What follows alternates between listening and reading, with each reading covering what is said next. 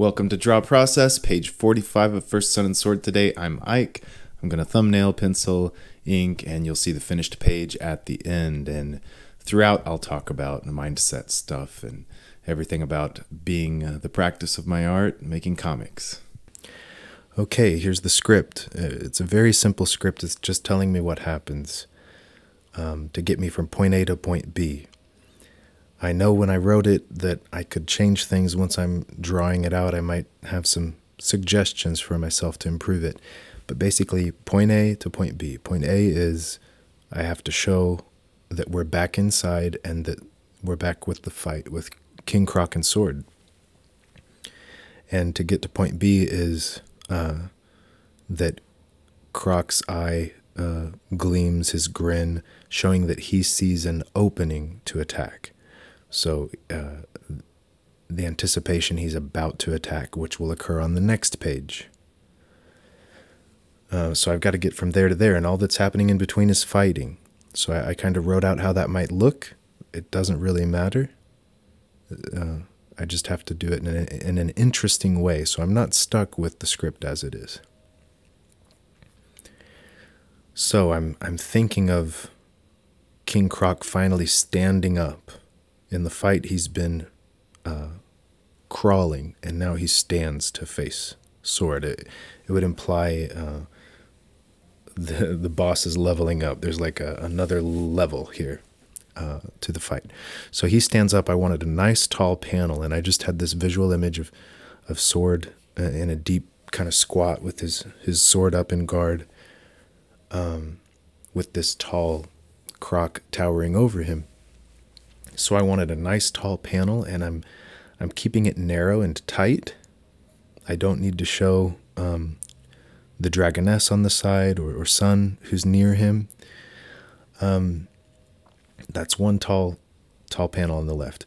Now on the right, I think I can, and you'll see I even made it taller. I, have uh, I've lowered where I want that panel to go, and I drew a couple arrows there where I want it to to go all the way down to. So a really tall panel.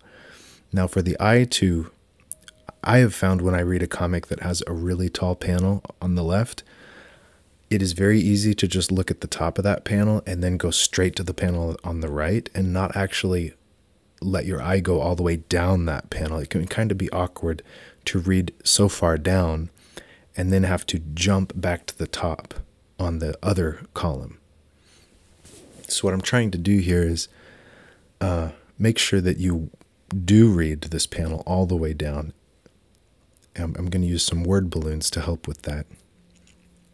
And by having sword like low in the panel, uh, it's going to to bring your eye down. But then to not have the eye jump so high back up, um, I am going to have the the first panel or like uh, the bottom of the first panel is going to be on a diagonal. So instead of just just having a square panel, uh, I was deciding to go with with this this diagonal bottom to the panel so that it helps uh, create this this line that follows uh, the shadow and and where like near sword's body in the first panel and his sword kind of as the sword runs horizontal there that he's holding it will help guide um, guide the eye towards the top panel. I wanted to um, kind of lengthen the first panel as much as possible on the left side, but I didn't need to do it all the way on the right side.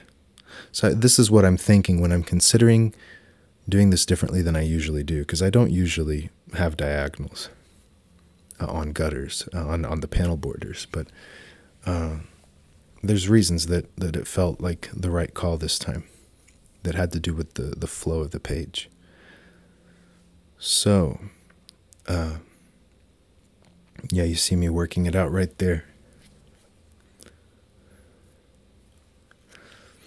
So uh, notice that uh, in the second panel there, not only is the the bottom of the panel on a diagonal that kind of flows up toward the right, but but uh, the the king croc shapes they just flow right up to the right on a diagonal, and so does Sword's body. But then the swing of his sword is is back down uh, on the right side toward uh, toward the panel beneath it. Um, yeah, shapes. I mean, I, talk about this like sort of a different a different shape and movement to each panel, and then trying to get them to like flow into each other.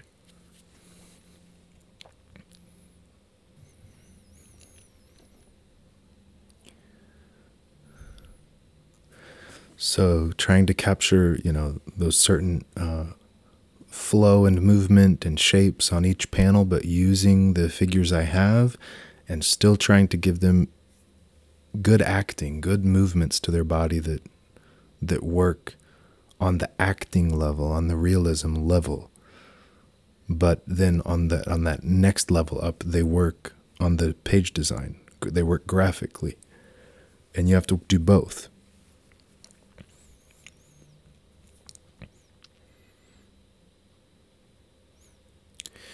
And so we have, uh, yeah, King Croc lunges. In the last panel there, he lunges uh, and bites down or, or tries to crush Sword down on, on the, uh, the left side of the panel, but Sword lunges to the right to escape. But this is the moment where uh, King Croc will have to have a certain grin and like gleam in his eye, a certain direction he's looking, where you get the sense that he's confident he's about to get sword, which he'll do on the next page.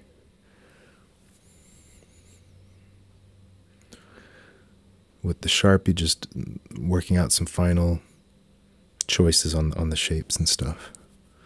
Does this work?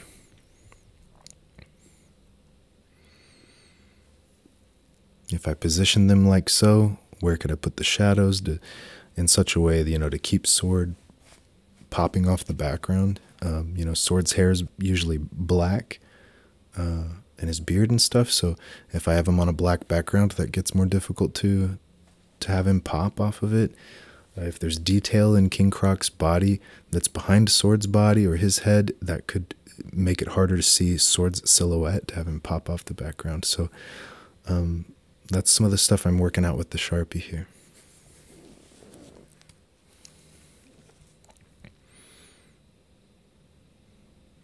The shape of the room, like uh, where the floor tiles are going to fall. This is because, okay, where does this shape work? Have I positioned them um, where where the the look of this panel and the shape of the panel like works with the reality of the background and works as a design? And there's the finished deal. And now I actually have to draw it. Um, I do want to work on getting faster at this. I, um, because I've kind of already drawn it at this point, and then I'm gonna have to draw it again. Uh, we'll see what I can come up with. Uh, I'll be sharing the process here on this channel as I as I develop better, newer ways for me to to work these things out. But but I like the thought of if I could work that out on the Bristol board on the on the comic book page. Um, it would just it'd be faster and I wouldn't have to redraw things. Um, but I don't know. So I mentioned it last week. Um, drawing these pages, I'm coming back to the same, the same problem, the same lesson, and I'm trying to pay attention to what it's telling me. Uh, it it could be um, it could be telling me at times that I am lacking in certain uh, knowledge of anatomy or where shadows would go. Uh, sometimes it's telling me that I'm getting too tedious and, and too focused on, on details that are not um, going to help with the, the speed and, and the story.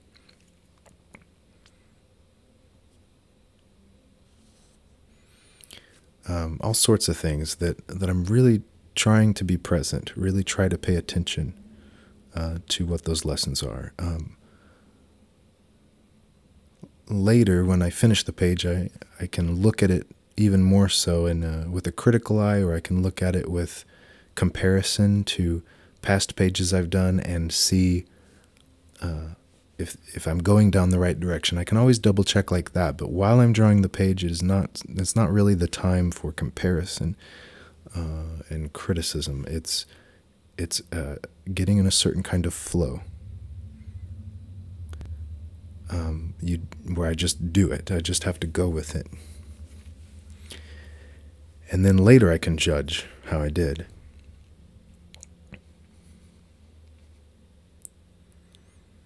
And for me that's that's that's important to being my practice, being the practice of my art is uh, uh, you know, you could call it more of a cartoonist maybe too, uh, that I am expressing myself. It's a performance when I draw pages. It's not, I'm not trying to create perfection uh, or something. It's, it's an, it's, it's a performance. And I want to be able to get into that flow state, communicate with that liberty and that freedom, and improve on that and improve on that so that over time, I become a master at sitting down and drawing a page every day and uh, communicating, you know, through story every day.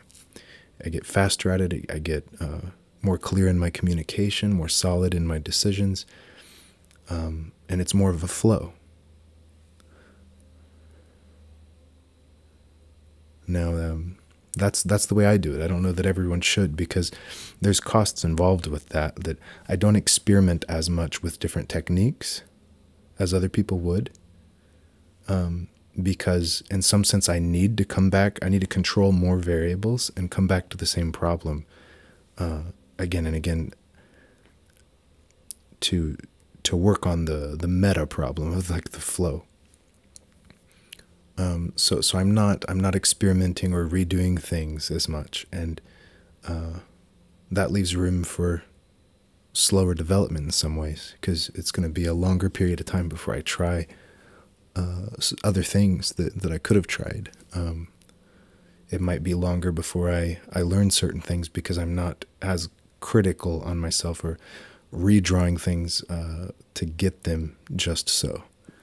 Uh, so, so it can be a longer path and slower in certain ways, but uh, uh, it's right for me, I think, and I do think there's a case to be made for it that something worth doing is worth doing slow. Uh, there, there doesn't need to be a rush.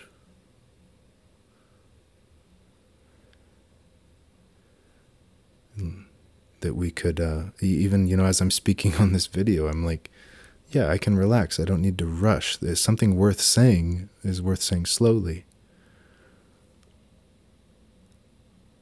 And that's definitely part of what this channel is, is me trying to speak very honestly. Uh,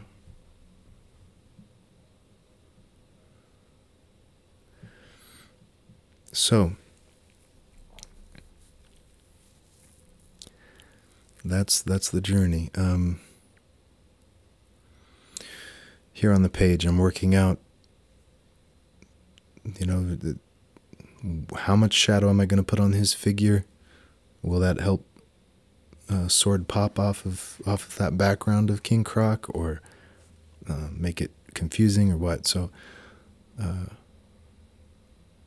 that was a challenging one because they're they're overlapping so much and they're moving in the same direction so much that even just the silhouettes, the basic shapes, are already competing to a degree. Um, so it, it did make that kind of challenging to work out. I don't know that it was the wrong choice though, because uh, I did it on purpose. I was trying to create a, a strong movement in that direction with the, the overall design of that panel. Uh, so it did serve that purpose well. It just made it um, less clear from from him in the background figure. Yeah. So, uh,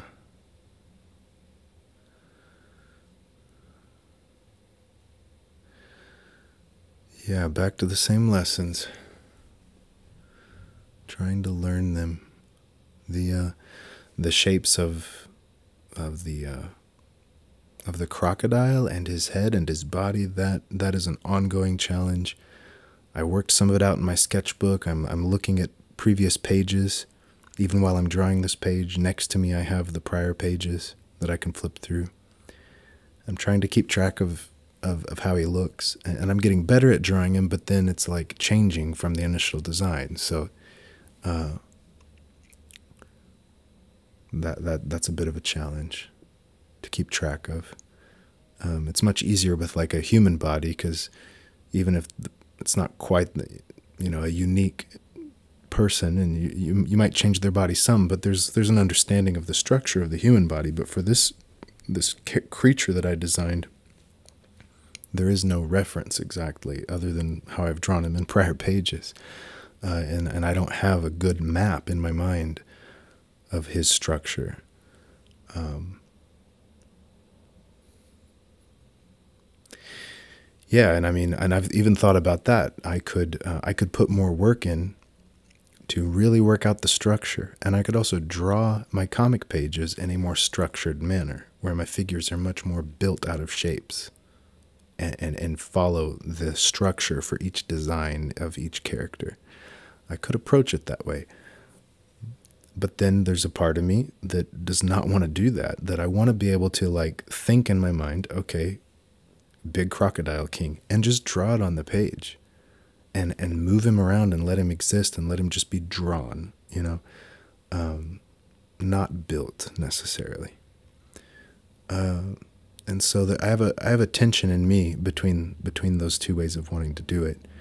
Um, it's definitely a tool in my, my toolbox to to have the shapes and design that you build the characters on and use those on the page but what I'm doing is much more of a expressive, loose uh, drawing. Yeah. So so that's one aspect of of my journey that I that I think through and uh, balance balance on.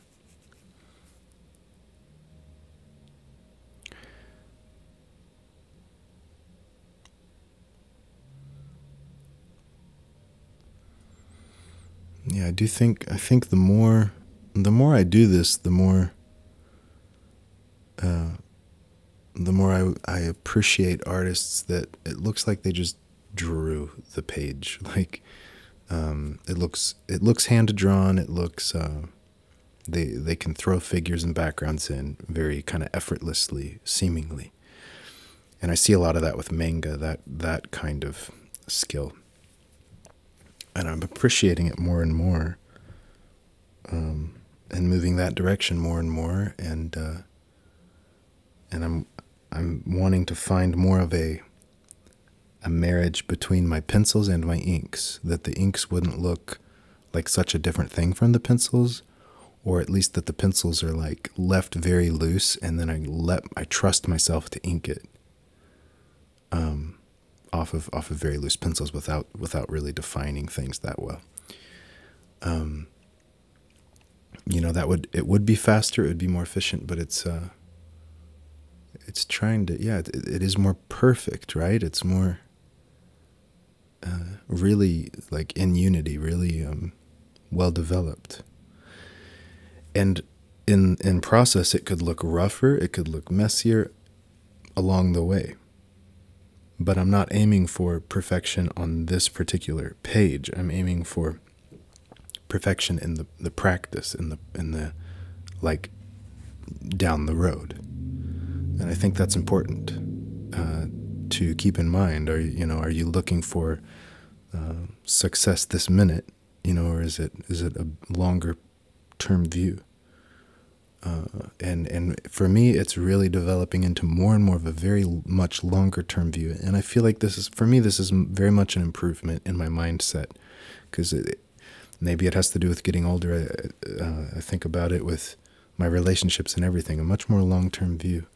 Uh, it, it can lead to more peace, better uh, motivation, and like goal oriented behavior, um, delayed gratification um, better planning and accomplishment and stuff. Like it's kind of higher ordered thinking, uh, and higher ordered morality uh, to be able to think in, in terms like that. Uh, and I think it applies to art and to being an artist. Um, I think it would apply to being a, an author or a poet or something too.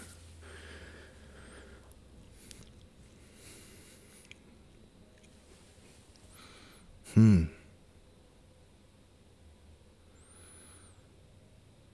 And yeah. And as this changes for me from the hobby or the thing that uh, that's kind of my, my private interest that I do uh, in private um, and hope to someday make public, as in making money at my private thing. But I, it's moving from that to uh, a, a much more like meaningful because it's this long term view I have. It needs to be much more meaningful and much more uh, other others oriented. That I'm becoming my best practice and sharing it so that I can help others be their best practice too. Um, that it's not just for me anymore.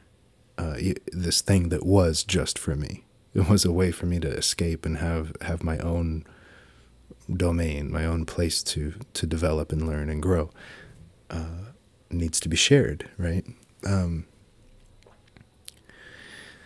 and that's yeah, that's a changing view, and I think uh, I think it'll rescue me from burnout because, uh, yeah, I don't I don't want to be uh, I don't know fifty something years old and um, and thinking like why am I still doing this thing? You know, like uh, do I really need to keep uh, doing this private hobby so intently um, when it's just for me? Uh, I could see myself thinking that way that it wouldn't that it isn't meaningful enough to engage in that it's just like liking video games or something that you might waste time on. Uh, it, I can't let it be that for me, so I have to make this meaningful. I have to make it for the better of others and uh, that I'm accountable to them. And that's what this channel's been helping me with too. But uh, yeah, I'm very, very hopeful for the future. Uh, that this is this is the right way to go. I'm excited to see how I can help people and what difference I can make. And uh, and it starts here. It could it could be decades down the road that I see a lot of results from that, but it's it starts now. Yeah, I really liked how this panel looked. Um, when I started in the pencils with just a, a, a much more loose line gesture, uh, line of action, um, for for his for for how um, well, both of these, both of them, Croc and Sword, are, are lunging here. Uh, it is such a like, it is such a deep um, lunge that he's in. Um, if I if I was trying to you know use reference uh, for, for, for certain poses like this, it would be very challenging. Uh, and if I didn't use a, a real loose gesture, but tried to just start drawing a figure in that in that position, it would also be very difficult. It would end up looking stiff. Um, but yeah, very trying to get very deep, uh, you know, a very deep lunge, a very uh, extreme dynamic pose in that last panel. And uh, I think my my art has a real kind of uh, some of it's that that heavy blacks, but it has like a weighty kind of static feel to it. I think um, but I like those figures to be in very expressive moments when they get caught on camera. Like it's a still shot and they kind of look still, but very dynamic in their pose would be the goal. That you're capturing a very, a, a very active moment.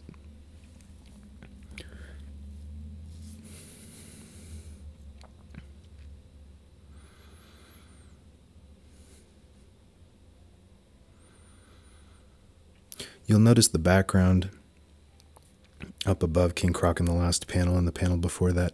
uh, I penciled in like where these walls would be in perspective. Um, in some of the prior pages, I was using a lot of shadow on the back walls to show where there's there's shadows from the the lighting. Um, and I was showing the the line work for like the the stone walls. But a lot of times that's um, creating tangents and like distracting. So, um, how much blacks I add to like the foreground uh, to create greater like weight, depth, contrast. Uh, there's a point at which like I can just let the background disappear. So I, I may not even bother. I, more so than in you know six pages ago, uh, I'm starting to let the line work break or or just kind of trail off and, and end, and not bother showing anymore. Because like up above King Croc's head there, I could have thrown that in shadow, um, but if I had, it would have added this this heavy black weight to the top of the panel, which would not help in in where the weight needs to be, which is towards the bottom of the panel, because I want the eye to move down to the bottom. So um, I'm learning to to let go of some of that, and, and it makes it easier to draw. I can just let let backgrounds disappear at some point. Um, maybe even pieces of figures and expression, pieces of their faces, even like. Um, that's fun to see how much I can let go uh, yeah, I wonder. I wonder how far I would take it. We're on the last couple steps here. White out, just cleaning up a few spots.